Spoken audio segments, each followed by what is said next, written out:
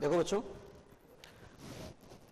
Direct and indirect narration में जो assertive sentence हैं, उनको डायरेक्ट से इनडायरेक्ट में किस तरीके से बदलते हैं, इस बिंदु के ऊपर विगत कक्षा में हमने बहुत विस्तार से चर्चा की थी और उसके बाद में बच्चों आया था इंटेरोगेटिव सेंटेंस और मैंने बताया था आपको कि इंटेरोगेटिव सेंटेंस जो है, वो दो प्रकार के होते हैं।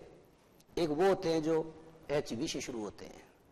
हेल्पिंग वर्ब से शुरू होते हैं और बच्चों, उनका जवाब आपको यस या नो में देना पड़ता है, इसलिए आप उन्हें कहते हैं यस नो क्वेश्चन और ऐसे सेंटेंस जो किसी एच से शुरू होते हैं, जब आप उनका डायरेक्ट से इनडायरेक्ट बनाते हैं बच्चों तो पहला परिवर्तन आप ये करते हैं कि जो रिपोर्टिंग वर्ब है, उसको आप आस्कड में बदलते हैं। एक इंटेरोगेटिव सेंटेंस वह होता है, जिसके अंत में जनरली साधारणतः क्वेश्चन मार्क आता है। और एक इंटेरोगेटिव सेंटेंस वह होता है, जिसमें सहायक क्रिया का प्रयोग कर्ता से या सब्जेक्ट से हमेशा पहले किया जाता है। ओके अगर सेंटेंस एचबी से स्टार्ट हो रहा है तो आपको रिपोर्टिंग वर्ब तथा रिपोर्टेड स्पीच को इफ़ या वेदर से जोड़ना चाहिए। ऐसा मैंने बताया। मैंने ये भी कहा था कि अगर रिपोर्टेड स्पीच में ऑलरेडी और शब्द आ रहा है तो आपको रिपोर्टिंग वर्ब तथा रिपोर्टेड स्पीच को इफ़ से नहीं जोड़ करके केवल वेदर से जोड़ना चाहिए। इसके अलावा बच्चों, आपको हमने बताया कि रिपोर्टेड स्पीच में अगर सर या मैडम शब्द का प्रयोग हुआ है रिपोर्टेड स्पीच में अगर सर या मैडम शब्द का प्रयोग हुआ है तो रिपोर्टिंग वर्ब में रेस्पेक्टफुली शब्द जोड़कर सर या मैडम शब्द को हटा देना चाहिए। ओके। इसके आगे आपको ये बताया गया कि रिपोर्टेड स्पीच का सेंटेंस अगर किसी डब्ल्यू एच वर्ड से शुरू हो रहा है तो आरवी तथा आर एस को जोड़ने के लिए किसी भी अन्य कंजंक्शन का प्रयोग नहीं करना चाहिए, क्योंकि डब्ल्यू एच वर्ड स्वयं कंजंक्शन का काम करता है। क्योंकि डब्ल्यू एच वर्ड स्वयं कंजंक्शन का काम करता है। तो इस तरीके के नियम बच्चों मैंने आपको बताए थे। जैसे मैंने कहा कि the doctor said to the patient what did you eat for breakfast yesterday क्या कहा मैंने? The doctor said to the patient doctor ने वरिष्ठ से कहा what did you eat for breakfast yesterday कल तुमने ब्रेकफास्ट में क्या खाया? कल तुमने नाश्ते में क्या खाया? जब बच्चों, आपको इसका इंडायरेक्ट बनाना होगा तो सबसे पहले आप कहेंगे द डॉक्टर शेड टू को आपको आस्कड में बदलना होगा. The doctor asked the patient और कंजंक्शन के रूप में आपको बाहर से दैट नहीं लगाना। मैंने एक चीज़ ये भी बताई थी कि डबल कंजंक्शन का प्रयोग कभी नहीं होता। अगर किसी सेंटेंस में इफ़ या वेदर आ रहा है बच्चों तो उसके साथ दैट नहीं आना चाहिए। और अगर किसी सेंटेंस में किसी डब्ल्यू एच वर्ड का प्रयोग हुआ तो वो स्वयं कंजंक्शन है, इसलिए उसके पहले दैट का प्रयोग नहीं होना चाहिए। तो आपका सेंटेंस बन गया कि the doctor ask the patient what did you eat तो डिड बच्चों जब इधर जाएगा तो हेड में बदल जाएगा। तो what he had eaten had जो है डिड का प्रयोग तो सब्जेक्ट से पहले हो रहा है, लेकिन आप क्या करेंगे? दूसरी बात यह भी है कि सभी प्रकार के वाक्यों को साधारण वाक्यों में बदल दिया जाता है। इसका मतलब यह हुआ कि सहायक क्रिया जिसका प्रयोग सब्जेक्ट के पहले हो रहा है इनडायरेक्ट स्पीच में उसको बदलते समय आपको सहायक क्रिया को उठा करके करता ये बात रखना चाहिए। तो what did you eat for breakfast yesterday तो इसका बनेगा बच्चों what had eaten for breakfast और यस्टरडे की जगह क्या बनेगा? द डे बिफोर या the previous day the day before या द प्रीवियस डे इस तरीके की बातें हमारे बीच में हुई थी। अब बच्चों, आगे वाला जो टॉपिक है, वो है अपना इंपेरेटिव सेंटेंस देखें आप। इंपेरेटिव सेंटेंस ये बच्चों कौन से सेंटेंस होते हैं? इंपेरेटिव सेंटेंस जो होते हैं, जिनको आप हिंदी में कह सकते हैं आज्ञार्थक वाक्य, परंतु इसमें आज्ञा के अलावा बच्चों, आपको दो तीन बातें याद रखनी है कि ये जो सेंटेंस होते हैं इंपेरेटिव सेंटेंस वो होते हैं जिनमें ऑर्डर रिक्वेस्ट या एडवाइस का भाव होता है। समझ गए? ऑर्डर रिक्वेस्ट या एडवाइस वाले वाक्य इंपेरेटिव सेंटेंस का मतलब ऑर्डर रिक्वेस्ट या एडवाइस वाले सेंटेंस होते हैं। ठीक है बच्चों? ओके ऑर्डर रिक्वेस्ट या ऑर्डर रिक्वेस्ट या एडवाइस वाले सेंटेंस होते हैं और बच्चों, इन सेंटेंस की सबसे बड़ी खास बात यह होती है कि ये हमेशा वर्ब की फ़र्स्ट फॉर्म से शुरू होते हैं। किससे शुरू होते हैं? ये वर्ब की फ़र्स्ट फॉर्म से शुरू होते हैं और बच्चों, ऐसे वाक्यों में क्या नहीं होता? ऐसे वाक्यों में सब्जेक्ट नहीं होता। ऐसे वाक्यों में सब्जेक्ट नहीं होता। कई बार बच्चों जो वर्ब की फ़र्स्ट फॉर्म है, उसके पहले प्लीज़ या प्लीज़ या काइंडली शब्द का प्रयोग भी देखा जा सकता है। कई बार वर्ब की फ़र्स्ट फॉर्म के पहले बच्चों डोंट या नेवर शब्द का प्रयोग भी देखा जा सकता है। कैसे बदलेंगे आप ऐसे वाक्यों को डायरेक्ट से इनडायरेक्ट में? देखो, एक सेंटेंस अपनी बात क्लियर करता हूँ। लेकिन आप Sonia, said, to, Sonu. Sonia, said, to, Sonu, go away. दूर चले जाओ। सेंटेंस उतारो। Sonia, said, to, Sonu. Sonia ने सोनू से कहा, गो अवे, दूर चले जाओ।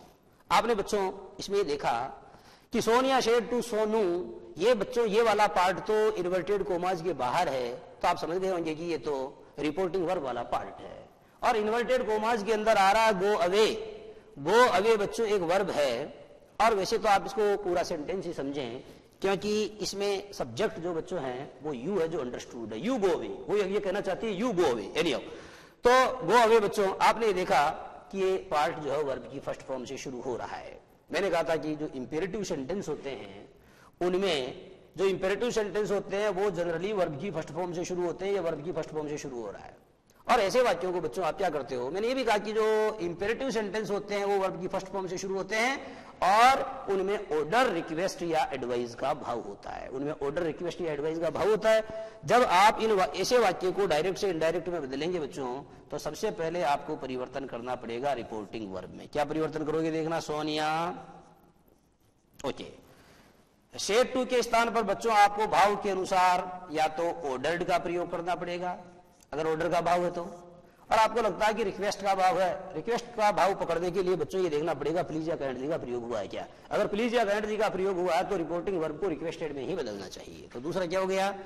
रिक्वेस्टेड ओके और अगर आपको लगता है कि रिपोर्टिंग वर्ब में तो सलाह का भाव है एडवाइस का भाव है तो बच्चों आपको करना पड़ेगा A D V I S E D advice ठीक है?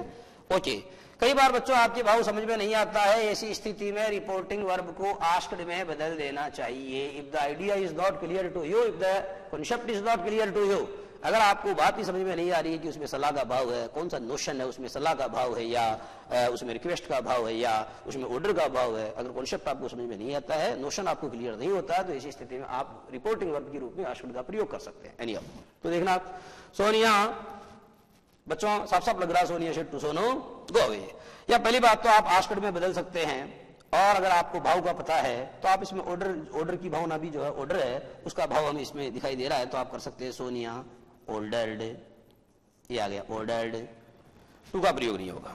सोनिया ऑर्डर्ड सोनू, यहाँ तक समझ में आ गया है? आपने क्या किया है? आपने भाव के अनुसार रिपोर्टिंग वर्क को ऑर्डर रिक्वेस्टेड या एडवाइजर में बदला है। भाव के अनुसार इंपेरेटिव सेंटेंसेज में भाव के अनुसार रिपोर्टिंग वर्ब को ऑर्डर रिक्वेस्टेड या एडवाइस में बदल देना चाहिए तथा आरवी तथा आरएस को टू से जोड़ देना चाहिए। आरवी तथा आर एस को टू से दैट से नहीं जोड़ना चाहिए। इफ़ या वेदर से नहीं जोड़ना चाहिए डब्ल्यू एच वर्ड से नहीं जोड़ना चाहिए, इस बार टू से जोड़ना चाहिए। तो ये टू लगा दिया। टू ये गो आ गया बच्चों। गो और अवे और सारे चिन्ह हटा दो। आपका आंसर बन के तैयार है Sonia order Sonu to go go away Sonia ने सोनू को जाने के लिए आदेशित किया। सोनिया ने सोनू को जाने के लिए आदेशित किया। दूसरा सेंटेंस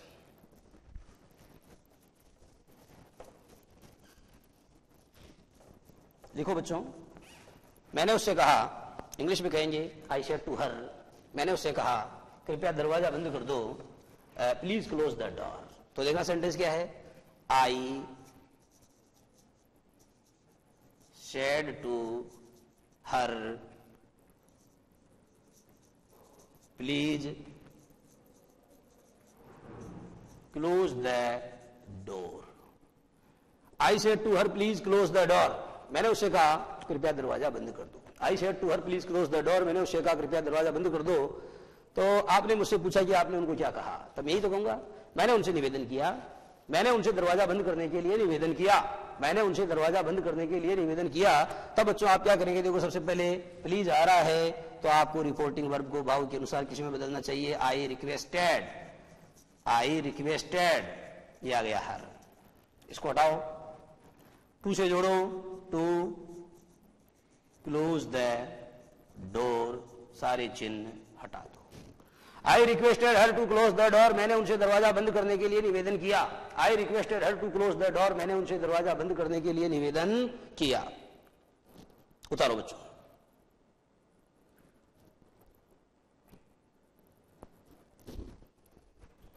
आइए देखना। She said to her servant she said to her servant वह अपने नौकर से बोली bring a glass of water for me bring a glass of water for me समझ गए? सेंटेंस क्या देखो? She said to her servant she said to her servant वह अपने नौकर से बोली bring a glass of water for me मेरे लिए गिलास पानी लाओ। Bring a glass of water for me मेरे लिए गिलास पानी लेकर आओ। तो बच्चों, इसका क्या बनेगा? उसने अपने नौकर को एक गिलास पानी लाने का आदेश दिया। उसने अपने नौकर को एक गिलास पानी लाने के लिए आदेशित किया। कैसे बनाएँगे आप? शी ऑर्डर्ड ये आंसर चालू हो गया, देखो। She ordered she ordered her servant she ordered her servant okay. She ordered her sir, her servant RB तथा इसको टू से जोड़ो। टू बाकी आ जाएगा bring a glass of water for me me बच्चों फ़र्स्ट पर्सन का प्रोनाउन है ना ये सब्जेक्ट के अनुसार बदलेगा सब्जेक्ट कौन है? शी लेकिन आपको पता है कि ये फोर के बाद मी, यानी ऑब्जेक्टिव फॉर्म में आ रहा है तो शी का ऑब्जेक्ट क्या होगा? हर तो यहाँ आपको हर का प्रयोग करना पड़ेगा। सारे चिन्ह हटा दीजिए। आपका आंसर बन गया तैयार है she order her servant to bring a glass of water for her उसने अपने नौकर को, उसने अपने नौकर को अपने लिए एक गिलास पानी लाने का आदेश दिया। उसने अपने नौकर को अपने लिए एक गिलास पानी लाने का आदेश दिया। ओके बच्चों। ये रिक्वेस्ट वाला भी समझ में आ गया आपके रिक्वेस्ट वाला बता दिया आपको ऑर्डर वाला बता दिया है। ठीक है बच्चों? एक एडवाइस वाला ही बताता हूँ। डॉक्टर ने मरीज़ से कहा कि इस दवा का नियमित रूप से सेवन करो। डॉक्टर ने मरीज़ से कहा, इस दवा का नियमित रूप से सेवन करो। इंग्लिश में क्या पड़ेगा the doctor said to the patient take this medicine regularly देखना आप सेंटेंस क्या है? The doctor said to the the doctor said to the patient डॉक्टर ने मरीज़ से कहा take this medicine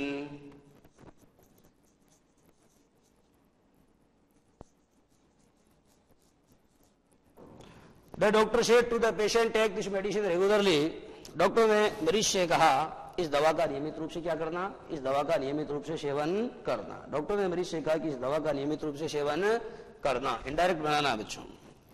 तो आप देख रहे हैं, डॉक्टर जब भी आपको कोई बात कहता है तो दो तीन बातें आप समझें।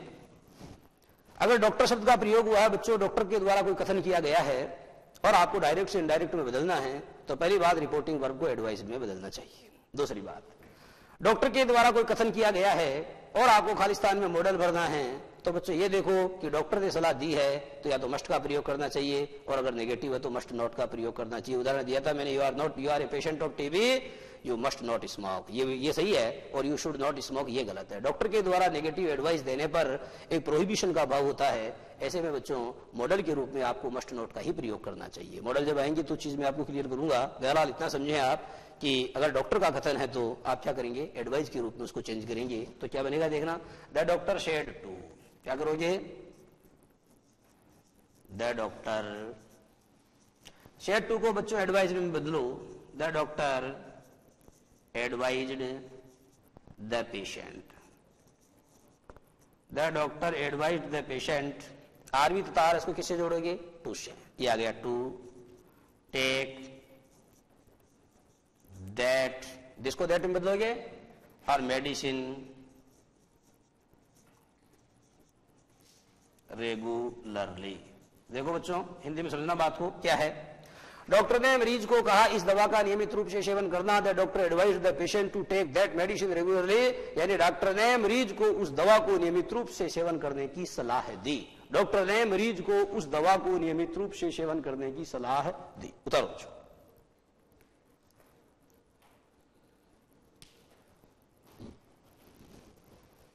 My father said to me, sentence. My father said to me,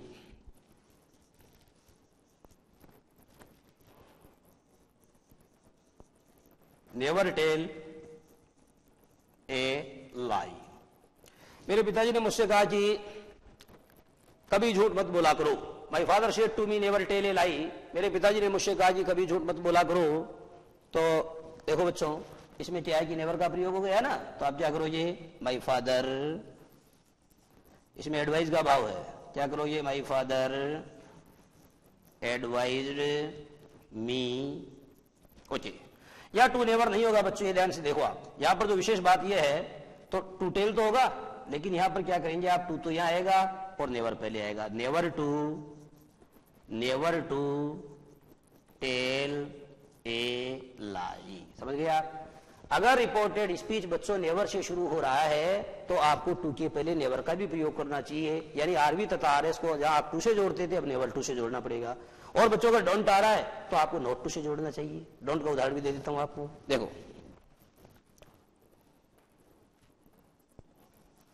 She said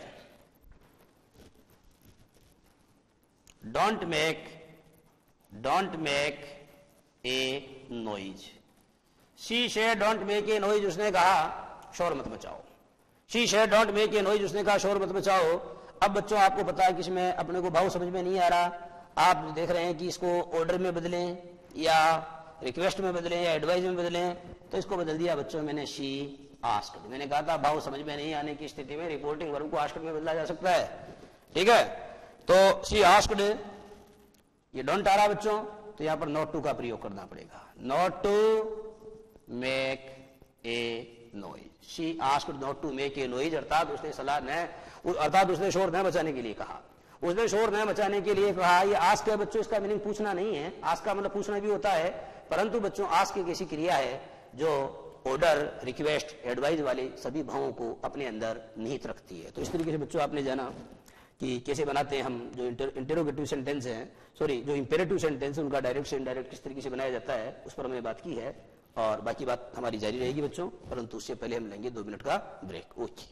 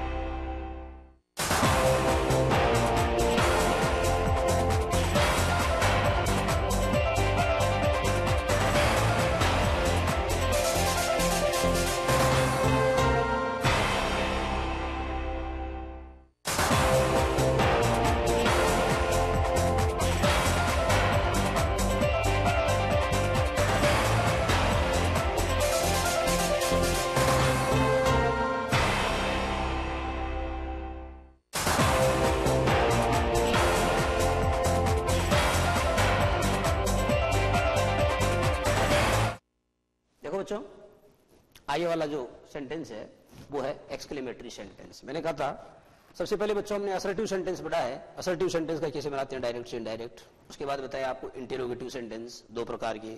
उसके बाद बताया आपको कौन सा? उसके बाद में हमने बात की किसके ऊपर? उसके बाद बच्चों, बात हुई हमारी इंपेरेटिव सेंटेंस के ऊपर। ठीक है ना?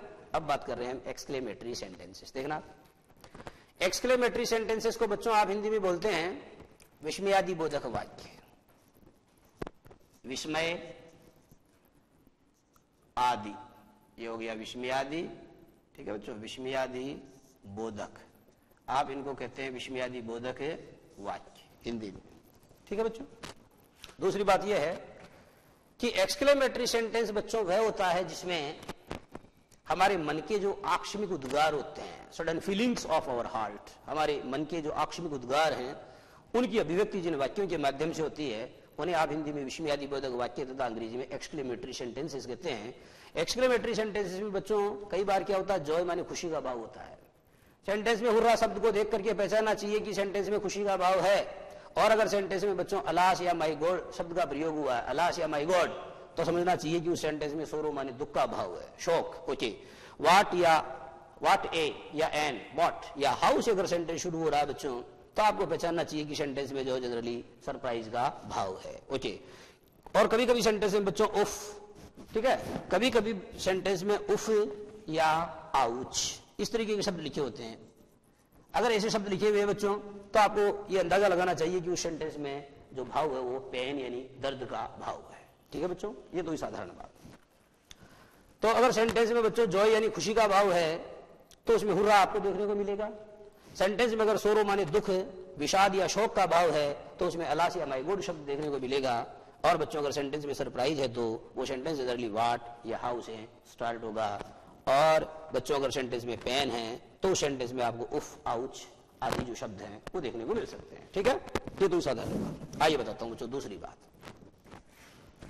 आपको ये भी देखना चाहिए कि ऐसे वाक्यों को बच्चों आप जब डायरेक्ट से इनडायरेक्ट में बदलते हैं यानी एक्सक्लेमेटरी सेंटेंस का प्रयोग अगर रिपोर्टेड स्पीच में हुआ है और ऐसे वाक्य को अगर आपको डायरेक्ट से इनडायरेक्ट में बदलना है तो बच्चों, आपको रिपोर्टिंग वर्ब में क्या परिवर्तन करना पड़ेगा? सबसे पहले ये समझिए आप। रिपोर्टिंग वर्ब ओके इधर होता है बच्चों रिपोर्टेड स्पीच आप जानते हैं, अगर रिपोर्टेड स्पीच में दिया हुआ है कोई एक्सक्लेमेटरी सेंटेंस समझ में आ रही है? रिपोर्टेड स्पीच में अगर एक्सक्लेमेटरी सेंटेंस दिया हुआ है बच्चों तो रिपोर्टिंग वर्ब को भाव के अनुसार एक्सक्लेम्ड विद जॉय में बदलना चाहिए।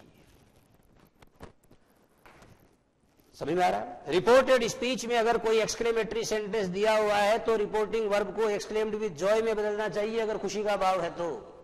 और बच्चों, अगर खुशी का भाव नहीं है, बल्कि दुख या सोरो का भाव है तो क्या करना चाहिए? एक्सक्लेम्ड विद सोरो में बदलना चाहिए. लेकिन अगर उसमें न जोए का भाव है, न सोरो का भाव है, बल्कि उसमें सरप्राइज़ का भाव है आश्चर्य का भाव है तो आपको रिपोर्टिंग वर्ब को भाव के अनुसार एक्सक्लेम्ड विद सरप्राइज़ में बदलना चाहिए. ये बातें बच्चों आपके समझ में आ जानी चाहिए। एक बात ये भी समझ लें बच्चों कि एक्सक्लेमेटरी की स्पेलिंग में देखो बच्चों ई एक्स सी एल ए और उसके आगे आई नहीं आ रहा है। लेकिन यहाँ पर जो मैंने प्रयोग किया है, यहाँ हर जगह आई का प्रयोग कर रहा हूँ। समझ गए आप? मैं समझाना चाह रहा हूँ, बच्चों एक्सक्लेम एक वर्ब होती है और एक्सक्लेमेटरी उसका एडजेक्टिव होता है। जब आप इस वर्ब से एडजेक्टिव बनाते हैं तो जो आई है, ये आई हट जाता है, ठीक है? तो वर्ब के अंदर तो आई का प्रयोग आपको करना चाहिए। ओके। तो बच्चों, सबसे इंपॉर्टेंट बात जो आपको समझाई गई है, वो ये है कि एक्सक्लेमेटरी सेंटेंस को डायरेक्ट से इनडायरेक्ट में बदलते समय रिपोर्टिंग वर्ब को exclaimed with J S S में बदल देना चाहिए। एक्सक्लेम्ड विद जॉय खुशी का भाव है तो। एक्सक्लेम्ड विद सोरो दुख का भाव है तो और एक्सक्लेम्ड विद सरप्राइज़ अगर उसमें आश्चर्य ताजुब या हैरानी का भाव है तो। और बच्चों, अगर तुम्हारे भाव समझ में नहीं आए तो रिपोर्टिंग वर्ब को केवल एक्सक्लेम्ड में ही बदल देना चाहिए। अगर आपको भाव समझ में नहीं आए तो रिपोर्टिंग वर्ब को एक्सक्लेम्ड इतना ही करना चाहिए और आगे कुछ भी नहीं लिखना चाहिए। कहने का मतलब रिपोर्टिंग वर्ब को केवल एक्सक्लेम्ड में बदलो if the notion is not clear to you अगर नोशन आपको क्लियर नहीं है, अगर वाक्य का भाव आपकी समझ में नहीं आ रहा है तो रिपोर्टिंग वर्ब को केवल एक्सक्लेम्ड में बदल देना चाहिए। इतनी सी बात समझ में आ गई बच्चों ओके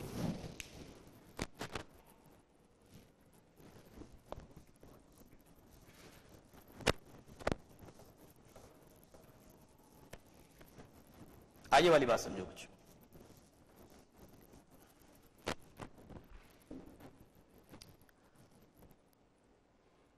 कभी कभी बच्चों ये भी देखना चाहिए आपको एक शब्द होता है B R A V O reported speech में आपको यह शब्द देखने को मिल सकता है।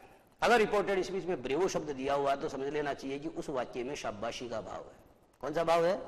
ब्रेवो शब्द का प्रयोग हुआ है तो उस वाक्य में शाबाशी का भाव है। और ये वाक्य बच्चों थोड़ा सा स्पेशल है तो उसको मैं थोड़ा अलग तरीके से आपको क्लियर करूँगा। बहरहाल आप इतना समझें। कि मैंने बताया आपको कि सेंटेंस में अगर खुशी का भाव है तो रिपोर्टिंग वर्ब को एक्सक्लेम्ड विद जॉय में बदलना चाहिए। और खुशी का नहीं, बल्कि दुख का भाव है तो रिपोर्टिंग रिपोर्टिंग वर्ब को एक्सक्लेम्ड विद सोरो में बदलना चाहिए। और अगर रिपोर्टेड स्पीच में आश्चर्य का भाव है तो रिपोर्टिंग वर्ब को एक्सक्लेम्ड विद सरप्राइज़ में बदलना चाहिए। ठीक है बच्चों? दूसरी बात रिपोर्टिंग वर्ब तथा रिपोर्टेड स्पीच को दैट से ही जोड़ना चाहिए। रिपोर्टिंग वर्ब तथा रिपोर्टेड स्पीच को किससे जोड़ना चाहिए? दैट से ही जोड़ना चाहिए। और सबसे अहम बात बच्चों, ये है कि सभी प्रकार के वाक्यों को डायरेक्ट से इनडायरेक्ट में बदलते समय साधारण वाक्यों में बदल दिया जाता है। मैं ये कहना चाहता हूँ कि अगर आपको कोई एक्सक्लेमेटरी सेंटेंस दिया हुआ है तो आपको क्या करना पड़ेगा? आपको बच्चों, उस एक्सक्लेमेटरी सेंटेंस को असर्टिव सेंटेंस में साधारण वाक्य में बदल देना पड़ेगा। कैसे बदलेंगे? मैं दो तीन सेंटेंस करके आपको दिखाता हूँ। समझ में आ जाएगी बात आपके? देखना जैसे मैंने आपको कहा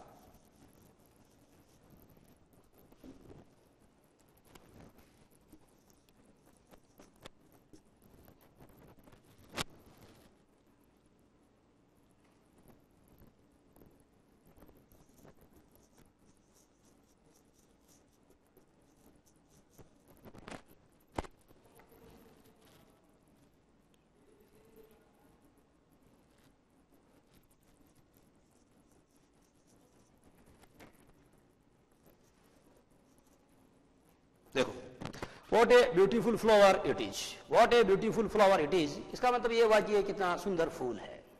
What a beautiful flower it is ये कितना सुंदर फूल है। तो बच्चों, एक चीज़ तो आप ये देखें कि एक्सक्लेमेटरी सेंटेंस की ये पहचान होती है कि उसके अंत में, बीच में कहीं पर भी साधारणतः जो अंतिम चिन्ह बता रहा हूँ, जिसको कहा जाता है मार्क ऑफ़ इंटरजेक्शन इसको कहा जाता है मार्क ऑफ़ इंटरजेक्शन यानी विषयादि बोधक चिन्ह। तो आमतौर पर यह होता है कि जो एक्सक्लेमेटरी सेंटेंस होते हैं बच्चों, उनके अंत में या बीच में कहीं पर भी इस चिन्ह का प्रयोग होता है। ठीक है बच्चों?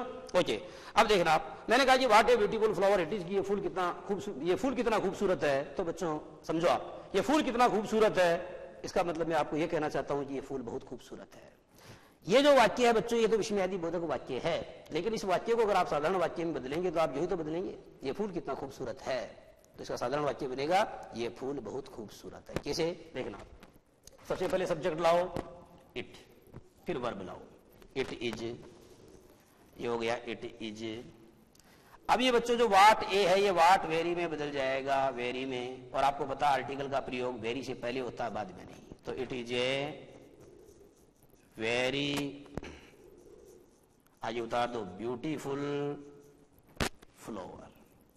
It is a very beautiful flower. Full stop लगा दो। It is a very beautiful flower. Full stop लगा दीजिए।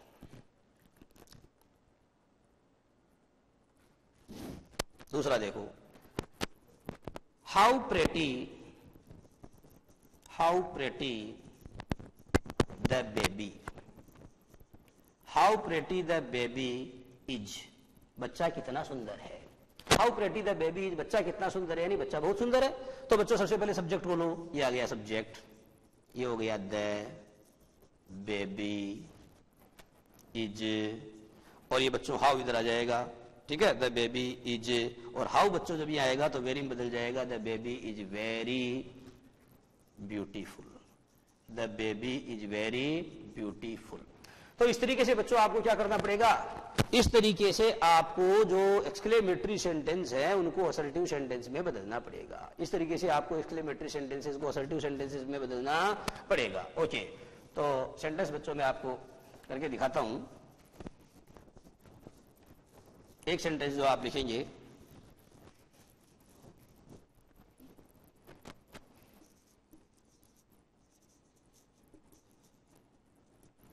She said,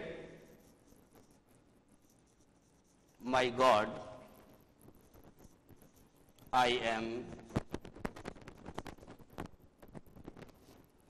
She said my God I am ruined. She said my God I am ruined. उसने कहा मेरे भगवान मैं बर्बाद हो गई हूँ। उसने कहा, मेरे भगवान, हे मेरे भगवान, मैं बर्बाद हो गई हूँ। तो बच्चों, आपने देखा, इसमें माई गॉड शब्द का प्रयोग हुआ है। तो सबसे पहले आप क्या करोगे she exclaimed she exclaimed with sorrow. She exclaimed with sorrow, यहाँ तक समझ में आ जाना चाहिए आपके। She exclaimed with sorrow reporting verb के स्थान पर बच्चों, भाव को समझते हुए मैंने क्या किया, इसको एक्सक्लेम्ड विद सोरो में बदल दिया है। तो she exclaimed with sorrow RV तथा आरएस को दैट से जोड़ो that she exclaimed with sorrow that my God गोटा दो। ये आई बच्चों फ़र्स्ट पर्सन का प्रोनाउन है सब्जेक्ट के अनुसार बदलेगा तो आप यहाँ पर शी का प्रयोग करोगे शी इजमार को वाज वर्ग में बदलो। शी वाज रियोन्ड ओके सारी चिन्ह हटा दो। She exclaimed with sorrow that she was ruined उसने बड़े खेद के साथ बड़े दुख के साथ कहा कि वह बर्बाद हो गई थी उसने बड़े दुख के साथ या बड़े खेद के साथ कहा कि वह बर्बाद हो गई थी आगे वाला सेंटेंस अर्जुन शेड अर्जुन ने कहा hurrah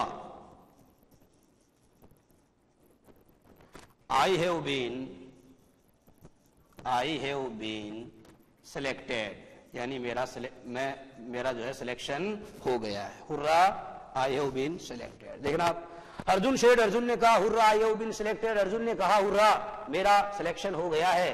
तो बच्चों क्या है? आप देख रहे हैं, हुर्रा शब्द को आते आपके समझ में आ जाना चाहिए कि रिपोर्टिंग वर्क को बदलना पड़ेगा। एक्सक्लेम्ड विद जॉय देखो कैसे बनेगा। Arjun exclaimed Arjun exclaimed with joy. RV तथा आर एस को से जोड़ो। Arjun exclaimed with joy that.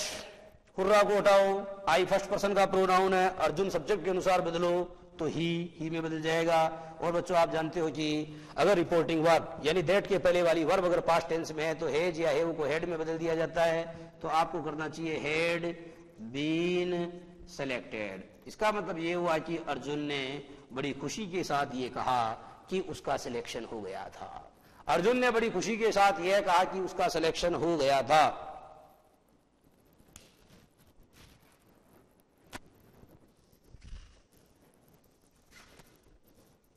आगे देखो बच्चों।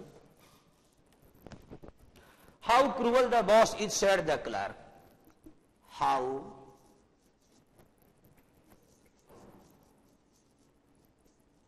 cruel the boss is said the clerk clerk ने कहा कि बॉस कितना क्रूर है। क्लर्क ने कहा कि बॉस कितना क्रूर है। सबसे पहले बच्चों शेड द क्लर्क ये जो रिपोर्टिंग वर्ब है इसको आगे लाओ। तो क्या बनेगा? द क्लर्क सेड यो बने गए तो आपको क्या करना पड़ेगा बच्चों? इसके स्थान पर। ये सुधरा हुआ रूप है। ओके तो यहाँ मैं इसका आंसर बनाता हूँ। The clerk exclaimed the clerk exclaimed अब बच्चों, यहाँ पर अपने भाव समझ में नहीं आ पा रहा है कि सेंटेंस में क्या लिखे हम मेरा मतलब इसमें जॉय लिखे हैं, या सरप्राइज़ लिखे हैं, या सोरो लिखे हैं। अगर भाव समझ में नहीं आ रहा तो इसको छोड़ा जा सकता है। यो लिखे आप द क्लर्क एक्सक्लेम्ड और सीधा दैट लगा दो the clerk exclaimed that the clerk exclaimed that अब देखो बच्चों, ये कैसा सेंटेंस है? ये एक्सक्लेमेटरी और मैंने कहा था कि जो एक्सक्लेमेटरी होता है, उसको असर्टिव बदलते हैं। तो सबसे पहले क्या आएगा? द बॉस द बॉस इसके स्थान पर बच्चों करो? वाज। The boss was. और ये हाउ जो है, बच्चों किसमें बदल जाता है? ये वेरी में बदल जाता है। The boss was very cruel the boss was very cruel the clerk exclaimed that the boss was very clear clerk ने बड़े क्लर्क ने जो है ऐसा कहा कि जो बॉस है, वो बड़ा क्रूर था, उतारो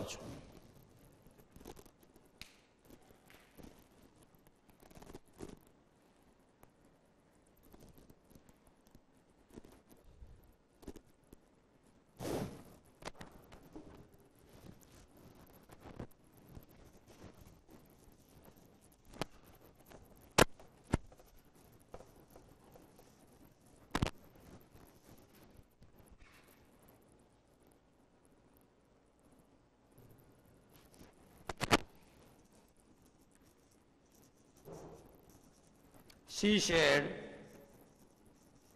how pretty the baby is उसने कहा कि बच्चा कितना सुंदर है। तो क्या करोगे बच्चों? शी एक्सक्लेम्ड ओके दैट लगा दो। She exclaimed that the baby she exclaimed that the baby is हमारे को वाज में बदलो the baby was very very क्यों बच्चों क्योंकि जो हाउ इधर जाएगा तो वेरी में बदल जाएगा वेरी और आगे आ जाएगा pretty the baby was very pretty she exclaimed that the baby was very pretty तो इस तरीके से बच्चों आपने जाना कि कैसे बदलते हैं आप एक्सक्लेमेटरी सेंटेंसेस को डायरेक्ट से इनडायरेक्ट में जो एक्सक्लेमेटरी सेंटेंस हैं, उनका किस तरीके से परिवर्तन किया जाता है? तो इस प्रक्रिया के दौरान बच्चों, आपको ये भी बताया गया कि जो एक्सक्लेमेटरी सेंटेंस होते हैं, उनको नियमानुसार आपको पहले क्या करना चाहिए? एक्सक्लेमेटरी सेंटेंसेस को असर्टिव सेंटेंसेस में बदल देना चाहिए। ओके बच्चों, आज का सबसे इंपॉर्टेंट सेंटेंस है। अब देखना। आज का जो सबसे इंपॉर्टेंट सेंटेंस है, वो मैं अब समझाने जा रहा हूँ। सेंटेंस लिखना।